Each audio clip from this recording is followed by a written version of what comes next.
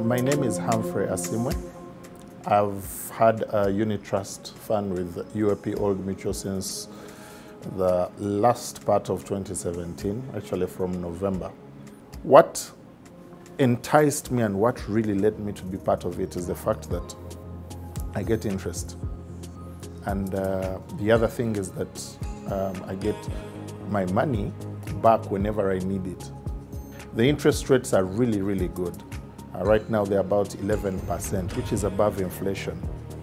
And for anybody to be able to save money for you and give you interest that is above inflation, that means that technically your money is gaining value. And I encourage anybody who wants to be able to put money aside slowly by slowly and let it grow to utilize the UAP unit trust funds.